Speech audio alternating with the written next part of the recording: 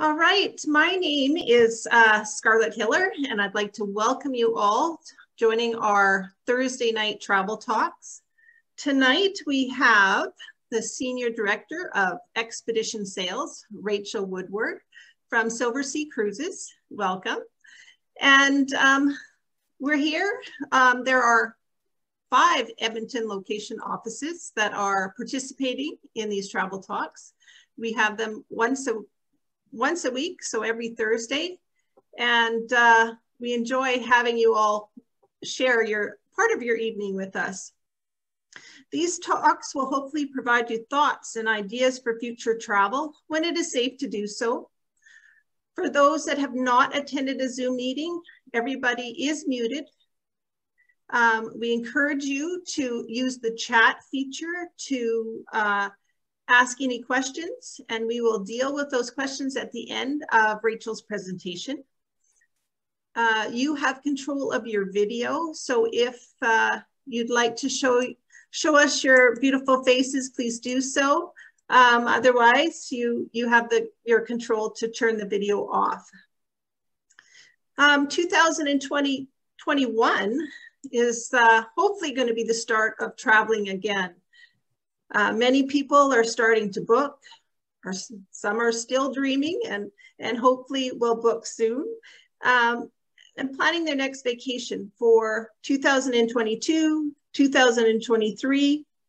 And sales, I know I heard, uh, I was on a seminar with Silverseas uh, earlier today, and they are having record months in booking. So people are booking for future travel. So tonight, Rachel will give us lots of motivation and, and teach us all about her wonderful product in the Galapagos, Antarctica, and all of those expedition cruises. So I welcome you, Rachel, and the floor is yours. Well, thank you so much, Scarlett. And I want to thank Expedia Cruises for organizing a fabulous event. And I also want to thank Expedia Cruises for a wonderful partnership. I know the past year has been quite challenging for all um, due to the current circumstances with COVID and travel, but um, we are seeing record-breaking booking months the past couple months. So if you do have any interest with Silversea Cruises, please reach out to your Expedia Cruises advisor and they can work with you on a future trip. Um, as Scarlett mentioned, I'm Rachel Woodward. I'm based in Los Angeles. I oversee Silversea Expedition sales for North America. And I've been on quite a few of Silversea's expedition voyages. So tonight, I really just want to share with everyone um, some inspirational photos and why expedition travel is so unique and why expedition travel now is the hottest um, way to cruise. What river cruising was 10 years ago is what we're seeing with a demand for expedition cruising. I love this photo here, a collage of, of different destinations we visit. Over 570 worldwide destinations. The only destination we're year-round is the Galapagos. So from pole to pole, Antarctica to the Arctic, really remote places, Russian Far East, um, as well as the Kimberleys in Australia. Uh, the most popular question I get with expedition travel is how active do I need to go on an expedition voyage? Do I need to expect to go on a six mile hike every day? No, I always say if you can climb a flight of stairs, play a round of golf, you can go on an expedition voyage. We cater to all different activity levels. We always offer Zodiac cruising. So the great thing is with expedition cruising, they're small vessels, anywhere from 100 to 240 passengers. So a different way to travel. And from there, you will board a Zodiac, like that middle photo at the top in Antarctica. So these Zodiacs are very rugged, maneuverable, and we're able to take you to remote places because of these Zodiacs. So we'll offer Zodiac cruising, short walks on a beach, um, kayaking in Galapagos, in Antarctica, and the Arctic, and then short hikes. So all excursions are included with Silversea. Um, showing a photo here of the Zodiacs. This was in um, the Kimberleys in Australia, where you can see the tidal change at Montgomery Reef at six in the morning. Um, and if it wasn't, you know, if you weren't on these Zodiacs, you wouldn't have these up close um, encounters. This photo was taken on my Arctic trip visiting Svalbard to see polar bears two summers ago. And we visited this area uh, called Bear Island. You would think you would see polar bears here, but actually it's these um, these stunning cliffs. They say it's like Jurassic Park of the Arctic. Um, and you'll see not just hundreds, but thousands of puffins everywhere. And the only way you can get through these little inlets is, is on these zodiacs. Uh, cultural experiences too. So it's not just about the wildlife, but uh, remote places we'll visit in the Russian Far East, the Tymlat village. They'll show us how they um, cook and clean their salmon. In Greenland, we'll, we'll meet some Inuit communities, um, local school kids. So it's really unique. Um, I say too with expedition cruising, it's not so much of live entertainment on board and, and we don't have any casinos on board. It's about the educational aspects. So the expedition team always tries to incorporate that throughout the voyage. The three polar vessels we have in the fleet. So tonight we're highlighting Antarctica and the Galapagos. So I'll start off tonight with Antarctica. Um, we have Silver Explorer, Silver Cloud, and Silver Wind. They all have ice strengthened hulls, uh, dynamic stabilizers. Um, so it makes it comfortable, especially when you're crossing the Drake Passage heading to Antarctica. But the biggest thing I point out with expedition cruising, um, whether or not you're looking at Silversea or another expedition company, look at the number of guests that are on board. Because visiting certain destinations like Antarctica, you can only have 100 guests ashore. So with Silversea, we're able to offer um, two landings a day, one in the morning, one in the afternoon and then we rotate groups. So that's a really big thing to look at, as well as an expedition team, because you always want to have more guides on board for smaller groups ashore. So what makes Antarctica so special? I always like to lead with our expedition team. We started our expedition um, product in 2008, so over 13 years of expedition cruising. And we have up to 28 guides. So for 240 guests, 28 guides, that's about eight to 10 guests in a Zodiac. I had many days where there was only five to six of us in a Zodiac. Um, marine biologists, historians, botanists. Uh, in the middle bottom photo, uh, the lady um, driving the Zodiac in Antarctica, Robin Aiello. She's been with Silversea since 2008, graduated from Harvard University, a marine biologist, has been to Antarctica, I think 112 times. And they sign up for Antarctica every year. They're so passionate. So um, if you haven't been to Antarctica, I really recommend to consider it, especially to check off that seventh continent. Likely the farthest away from home that you've ever been. Only about 50,000 people visit Antarctica each year. So it, it really is a magical destination and no voyage is similar. If you've been to Antarctica before, you want to go in a couple years, the wildlife and what you see is going to be a different experience. So we offer four different types of voyages for Antarctica. Um, before I talk about the itineraries itself, I do want to mention we make it quite easy for you to get to this destination. Uh, so for everyone flying from Canada, Silversea does include complimentary international air to Santiago, Chile. And then we'll include a pre-night hotel in Santiago, and then the following morning, a chartered flight to Ushuaia. Or we offer reduced business class air international. So we're the most all-inclusive cruise line with everything we include with the airfare. On board, we include gratuities, alcohol. You have your own private butler, which I like to say um, is just like having a concierge. So the main itinerary for Antarctica, the peninsula trip um, on the second to the left, they're about 10 to 12 days in length.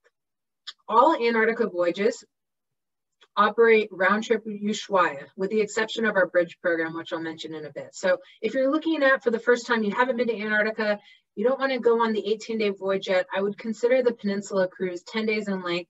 It will spend six days exploring the peninsula. You'll see three different penguin species, the Gentoo, the chinstrap, and the Adelie penguin. Something new that we've never offered before, a deep Antarctica voyage. So if you are a bucket lister, you want to have bragging rights, we're able to take the vessel um, ice cruising 66 degrees south on this itinerary. So that's really unique. And then our 18 day voyage on the far right combines the peninsula, the Falklands and South Georgia. So if you have the time, I highly recommend the 18 day voyage because you'll see seven different um, penguin species, including the king penguin. So what is this bridge program? So we're calling it our Antarctica Fly Cruise Bridge Program. If any of you are concerned with the Drake Passage uh, or you don't have time for a two to three week holiday, this is a six day trip and it avoids the Drake Passage. So we operate the program from Punta Arenas, Chile, and then we offer the following morning a chartered flight down to Antarctica. Um, we land at a, uh, a research base, uh, King George Island, and from there, you'll be in your expedition gear with your parka on, you'll walk ashore about a fourth of a mile and board a Zodiac in Antarctica. So it's a shorter trip, you avoid the Drake Passage. But I say, if you haven't been to Antarctica yet, the thrill and adventure is crossing the Drake Passage. It's just to say bragging rights. Um, nine out of 10 times it's like the Drake Lake, but sometimes you will feel um, a bit movement there. So what I want to do really is just inspire you with this destination, share some images from my trip to Antarctica. Um, so this is all just images and I'll review some of the activities we offer. Silversea has a lot of outdoor deck space, so that's really important too, visiting the White Continent. Most days it's quite sunny. Um, it's likely colder in Edmonton in the winter than it is in Antarctica. I say that too sometimes with um, clients from Chicago. Uh, we do include the red parkas, a backpack and a water bottle, but it's uh, what you'll wear for an Antarctica voyage is like um, dressing for a ski trip. So I'm sure many of you, you have all of that gear for an Antarctica trip. But the deck space is really important um, because you'll be at the front of the vessel, great photo opportunities. Many days it's sunny, sunny. You'll take photos of humpback whales and orcas out on deck. And the expedition team on board is always um, there to um, show you how to maybe take the best photos, interact with you, the host lunches and dinners. So this photo here was taken on my trip to Antarctica three seasons ago. I was on Silver Cloud and we were in a Zodiac group, probably about six to eight guests. Um, as soon as you are going ashore, you're probably about a mile away from the shoreline. And there's always at least one or two expedition guides in your Zodiac group. Your first steps ashore not only are you going to see hundreds of penguins, but thousands. Most landing sites have between three to 6,000 penguins. It's unbelievable. Uh, a lot of snow and a lot of ice. So we visit Antarctica from November until the end of February. So it's definitely a seasonal destination compared to the Galapagos where we're there year round. There isn't a bad time to visit Antarctica during that season. November through mid-December, there's more snow and more ice. It's a little bit more pristine. So for those of you that are avid photographers, a great time to take photos. Um, and why I say pristine is because baby penguins are born at the end of December. So you can imagine walking ashore in January, you might get a little bit more um, penguin poo ashore, but of course we have, um, you wear the the boots and we have a boot cleaning station on board. Um, but if you do want to see baby penguins, end of December into January is, is a great time. Um, another great photo here, this is in South Georgia. So the, um, the geology, the landscape is very different between Antarctica in the peninsula than South Georgia. South Georgia, you get these rolling green hills and you'll see 50,000 king penguins, actually 55,000 king penguins at Salisbury Plain as far as the eye can see. And you can see the penguins that are furry brown. Those are the baby penguins. This was probably taken um, the first week in February when they're a little bit more uh, larger, but it's just so cute. Um, I always say too, you know, many times the wildlife has no fear of humans. And, and that really is what makes visiting Antarctica and Galapagos so special. Uh, if you just put your camera away, you sit down and admire the scenery, more than likely you'll probably have a penguin walk up to you. Now we always say to stay close distance because we always protect the wildlife five to 10 feet, but it's unbelievable how close you get to the wildlife. Um, I love this photo too. This is in South Georgia. Um, four different guests taking photos of the elephant seals. And I'm one of those guests that was using my iPhone because uh, I had my large camera and then I just started taking stuff on my iPhone. But you're so close to the wildlife, you can take some really good photos. You'd be surprised on your iPhone. So when you head down to the peninsula, the scenery changes a, a, lot. So South Georgia is just outside the Antarctic Peninsula, but you'll visit South Georgia on the 18-day voyage. So in the peninsula, um, I was blown away. I knew I would see a lot of penguins, but it was the ice, the colors of the ice. 85% uh, of the world's ice is in Antarctica, and 90% of the icebergs are below the surface level. So, you know, looking at this photo here, imagine how small you feel on these zodiacs. Um, many days I zodiac cruising, I just put my camera away and I observed the scenery. It's it's unbelievable. There's no sounds other than you know you might see some humpback whales bubble feeding and some penguins ashore, but it's stunning. This particular day, I was on the Zodiac right next to the photographer, so I can't take credit for this photo. Uh, but there's five of us in a Zodiac group. We visited this area called Cierva Cove, which is known to see humpback whales bubble feeding. There was five humpback whales near us for an hour and a half. Our expedition guide said, everyone put their cameras away. He turned off the engines and we had a humpback whale right next to our Zodiac. Now I know that might sound scary, but um, they're just very curious and playful. And it was a memory that I will never forget. And that's why you travel. You, you know, you enrich yourself with these, um, these memories that last a lifetime another photo of the humpback whales. So for those of you that do like to stretch your legs a bit and, and go on um, a mile or two hike, uh, that's something that Antarctica does offer, stunning scenery views. This is in Neko Harbor.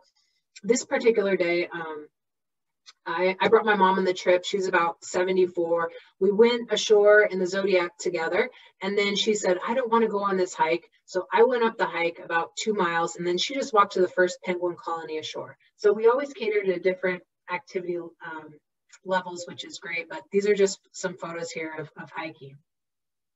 Kayaking is also um, included. I will say it's a little different kayaking in frigid waters than it is kayaking in Vancouver, Canada, which which I love doing.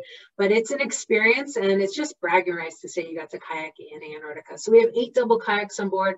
We'll provide complimentary wetsuits for you to use throughout the voyage. Some of the wildlife that you'll get to photograph, um, photograph fur seals, um, orcas. You'll see these spotted sea lions ashore. And my favorite is um, these tabular icebergs. It's just stunning. I mean, looking at the inside of this, the teal, um, how dark it is when you look below the surface level, it's just stunning.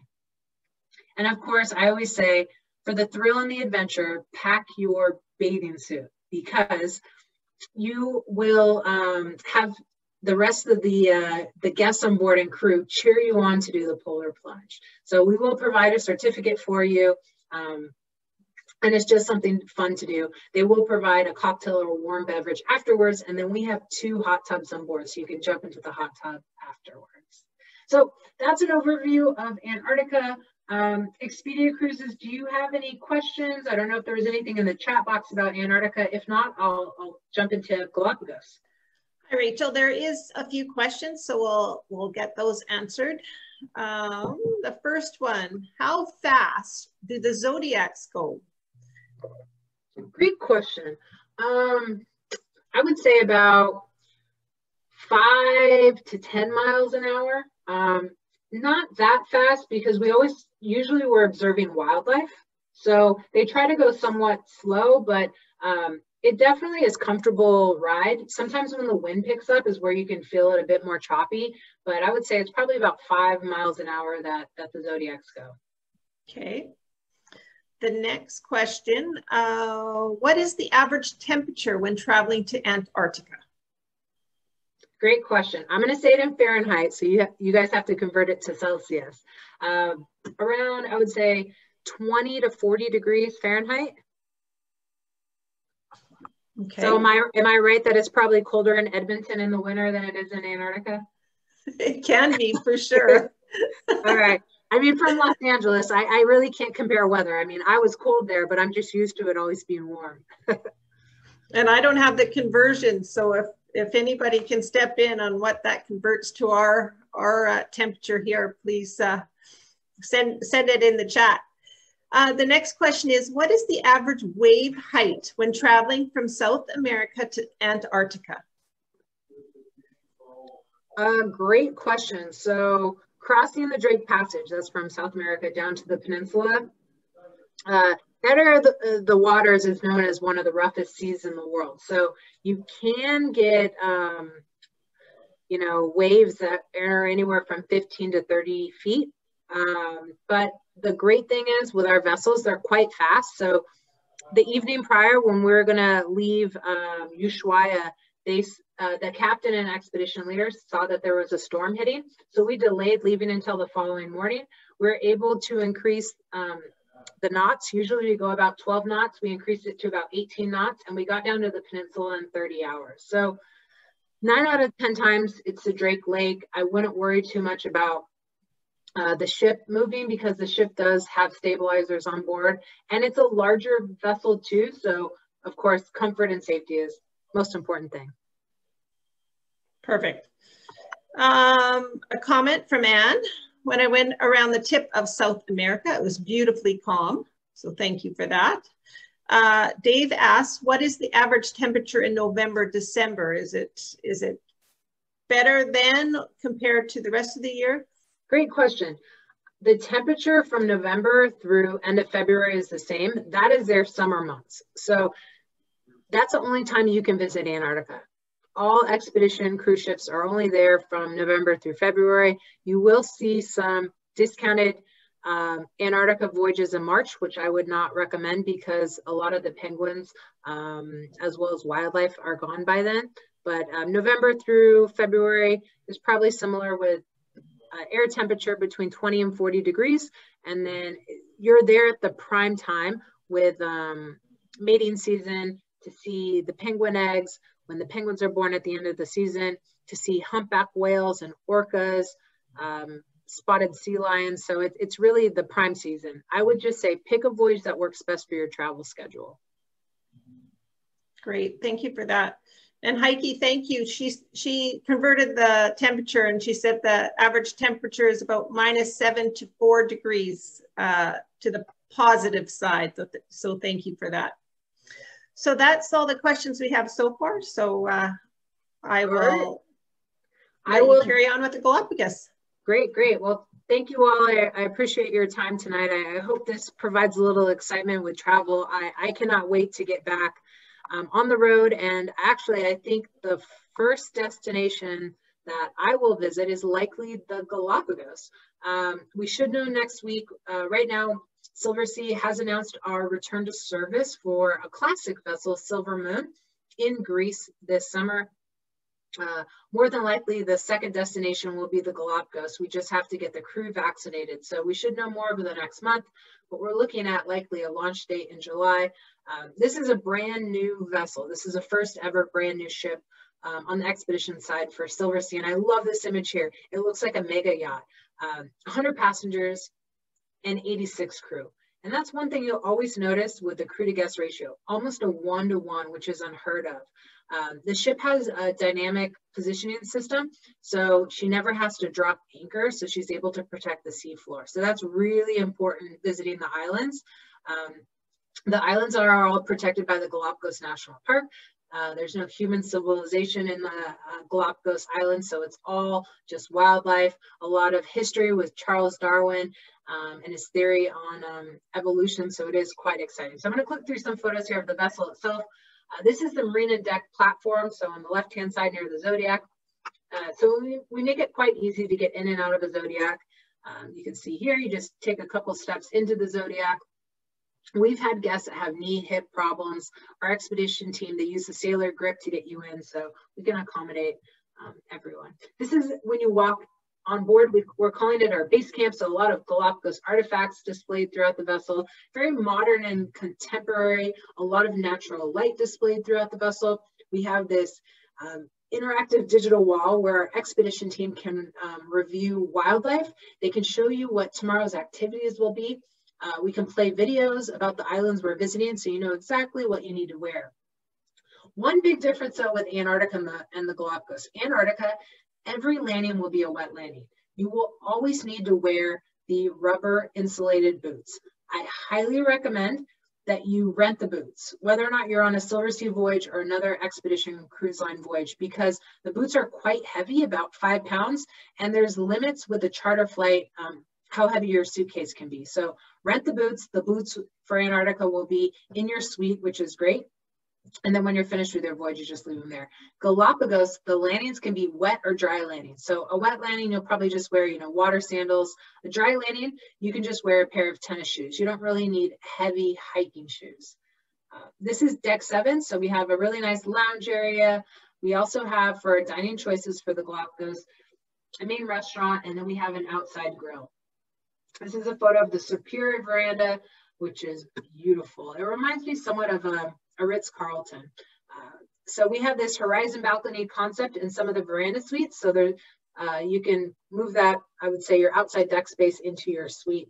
So the entry veranda start at 320 square feet, and our largest suite goes up to 1,700 square feet. We have the largest suites in the Galapagos. So any of you that are looking at maybe bringing um, families, we do see a lot of multi-gen families traveling over the Galapagos, grandparents, the children, and then the grandkids. Children for the Galapagos just have to be five years or older. Uh, that actually has to do with any expedition voyage um, and really with being in and out of a zodiac. But this is a great destination uh, for children and families because of the wildlife. So the two itineraries that we offer, they rotate every seven days. Um, San Cristobal to Baltra, Baltra to San Cristobal. Silversea includes a two-night pre-hotel stay in um, Quito.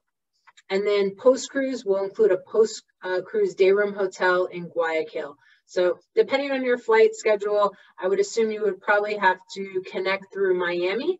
Um, coming from Los Angeles, I had a flight from Los Angeles to Miami, Miami to Quito. I got in on Thursday afternoon and then two pre-nights in Quito. So the one nice thing with Silversea on our expedition product, we'll always include that pre-night hotel and always include a post-cruise day room. So work with your Expedia Cruises advisor on um, the land side of things. So I wanna get into the itinerary and what makes this destination so unique. It's definitely a marine sanctuary. Every island is so unique. Um, this is in Santiago Island. It's a volcanic island, so you're noticing just uh, walking ashore how it's a little bit more rugged. Um, I would say too with the Galapagos, not every day is it going to be white sand beaches. You will notice that it's a little bit more rocky, um, uneven terrain, but it's absolutely beautiful. And anytime we might offer a longer walk, a longer hike, that could be that could start as early as eight in the morning. Um, we'll always offer a shorter beachcombing walk.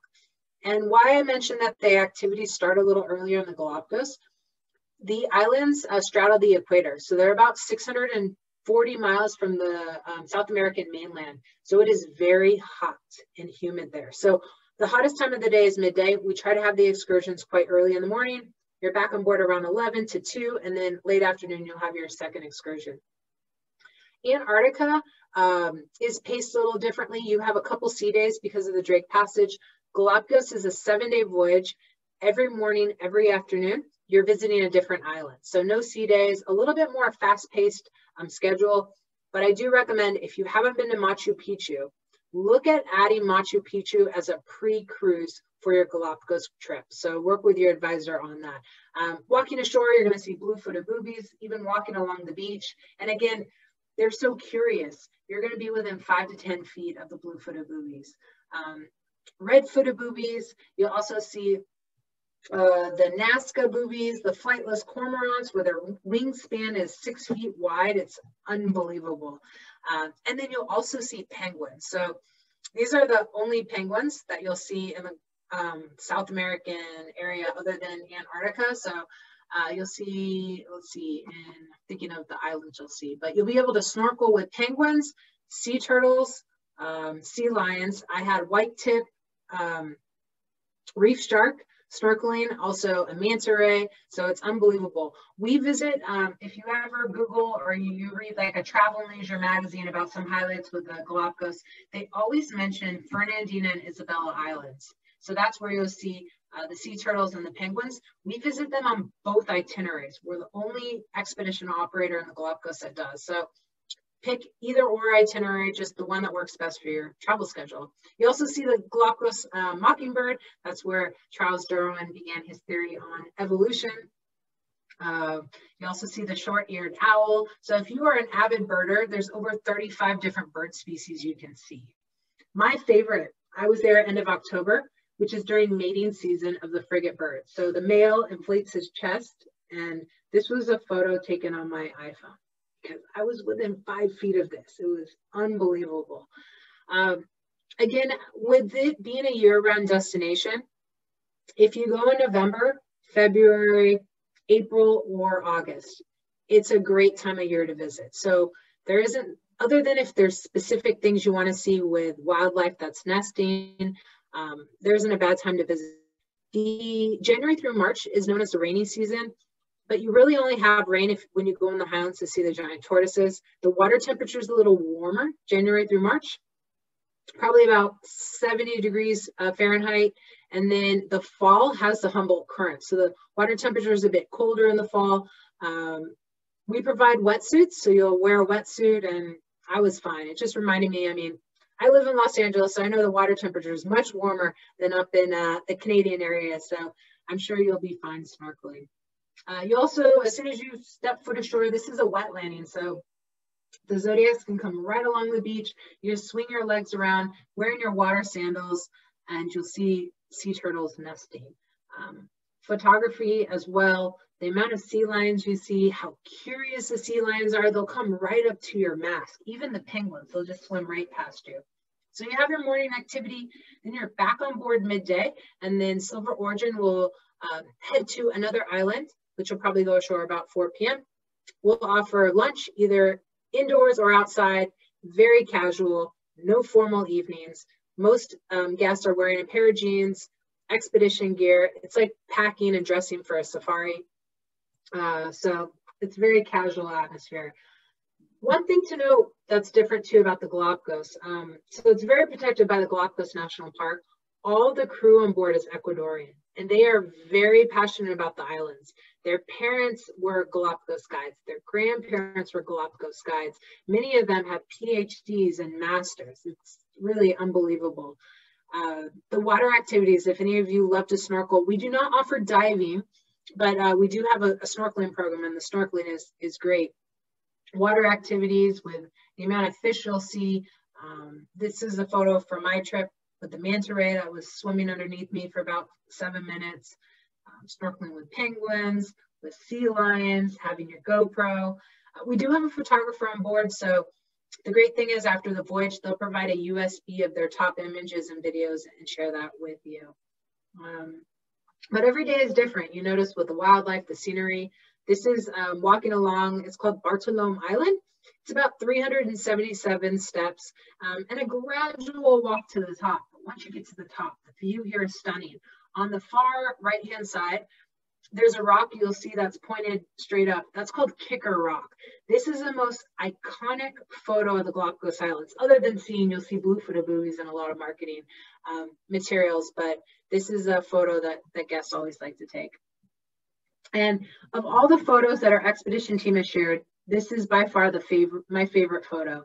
Um, just we've seen this uh, expedition guide driving the Zodiac and just the water and how the sky has changed and just you can see the scenery. Um, a lot of birds too are along the cliffs here, so you'll see blue-footed boobies and red-footed boobies. Um, the great thing too is the zodiacs. You don't even have to get off the zodiacs and the Galapagos to enjoy the wildlife we always offer Zodiac cruising throughout the day. So you'll go ashore and then we'll offer a couple Zodiac cruises and then you'll go ashore again in the afternoon. So um, if you just want to go on Zodiacs, we'll, we'll offer that. Elizabeth Bay is like a marine sanctuary. So you'll see in the front of that Zodiac, there's a penguin there. Um, you'll see uh, sea turtles as well, um, as well as uh, manta rays. And for any of you that want to see the Galapagos giant tortoises, we'll take you to Santa Cruz where I, I'm, i wish I, I, included this photo for my trip, but I'm 6'2", and I stood right, probably 10 feet behind one of the tortoises, and I looked very tiny. They weigh, um, I think, up to 500 pounds, and they live well into their hundreds. So when we visit the um, Galapagos um, tortoise areas, it's unbelievable. You won't just see a couple tortoises. You're going to see hundreds of tortoises roaming around that's probably one of other than snorkeling that was one of my favorite highlights. Um, and then winding down in the evening uh, you'll be able to take amazing photos enjoy sunset. We'll offer sunset uh, zodiac cruises. You'll come back on board. We might offer a south america tapas and tasting evening with wine pairings from south america.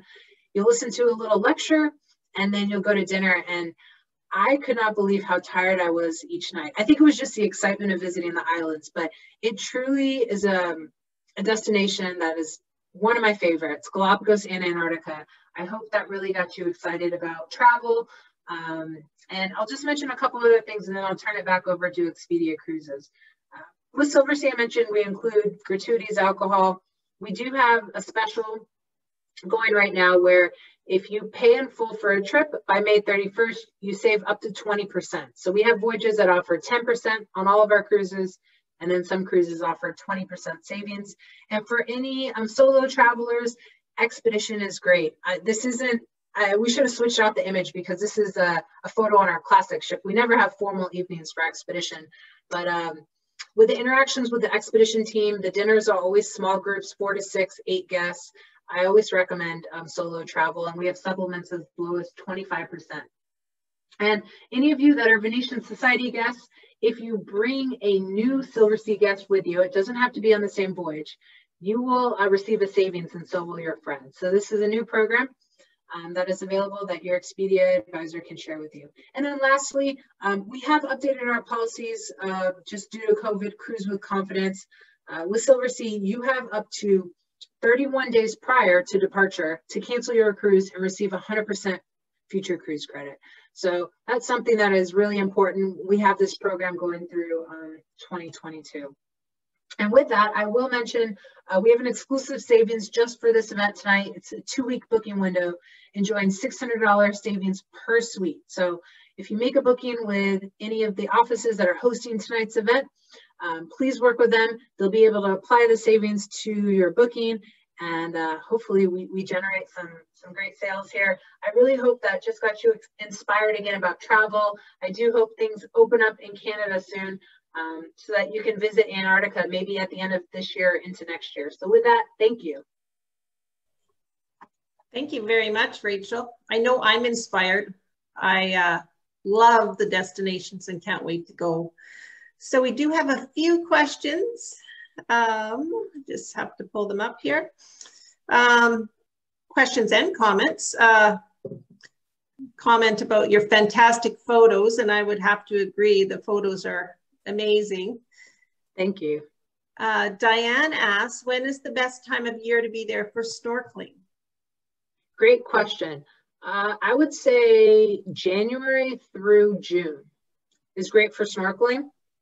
Uh, and because the water is a little warmer, you'll get more underwater wildlife. Um, I went in October and it was fine, but I guess it's just preferences. So maybe January through June would be a good time. Okay, great. Um, is there enough zodiacs to cover the number of guests on the ship? Great question. Yes, so we never uh, fill our vessels completely full um, just because of singles and some guests do not want to go ashore. So with Silver, uh, pardon, pardon me, Silver Origin, we have 100 guests and eight Zodiacs, and we're able to get all guests ashore in the Galapagos. Antarctica is a little different um, because we do have two vessels that are about 240 guests. So what we do, we break it up into two groups in the morning. The first group might go ashore from 9 to 10.30, and the second group will go ashore from about 10.30 to noon. So we are able to get everyone ashore. In between going ashore, we offer Zodiac cruises. So there's nothing that you'll miss out. I always say just with Antarctica, you want to be on a ship under 300 passengers. Okay, great. I got a private message as well in regards to the kayaks. Um, I think you mentioned there was eight to 10 kayaks, is that correct? Um, yep. And how do people have to sign up for them or how do they work? Great question. Um, as Silver Sea includes the kayaking program, I, if you're an avid kayaker and you want to kayak every day, that's not something that we can offer because we try to allow everyone to kayak. Um, so I'd say you're probably on a 10-day Antarctica cruise, kayak one to two times. Um, there's a sign-up sheet on board.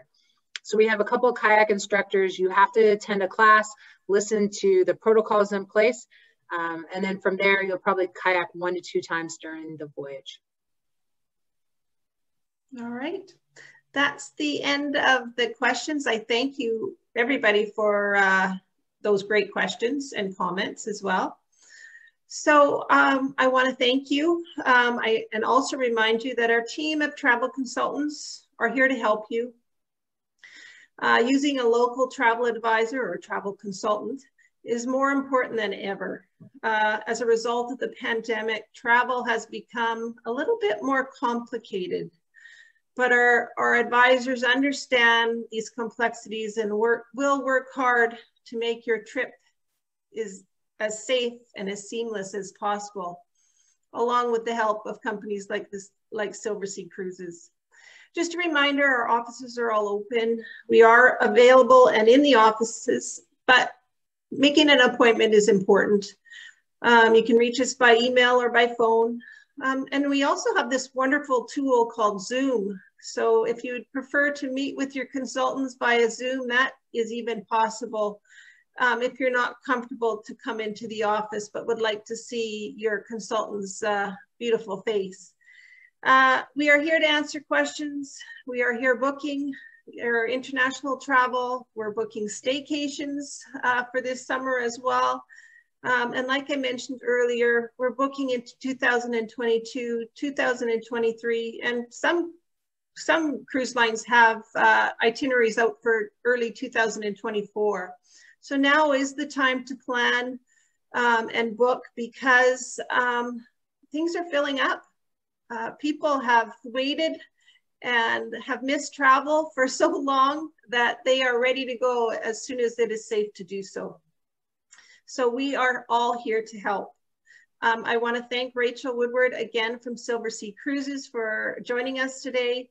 Um, our next travel talk will be next Thursday at seven o'clock and Scenic Luxury Cruises and Tours will be here to uh, educate us about the Mekong River and uh, Asia. So hopefully you can all join us. Thank you very much, everybody. Good night. Thank you so much. Bye-bye.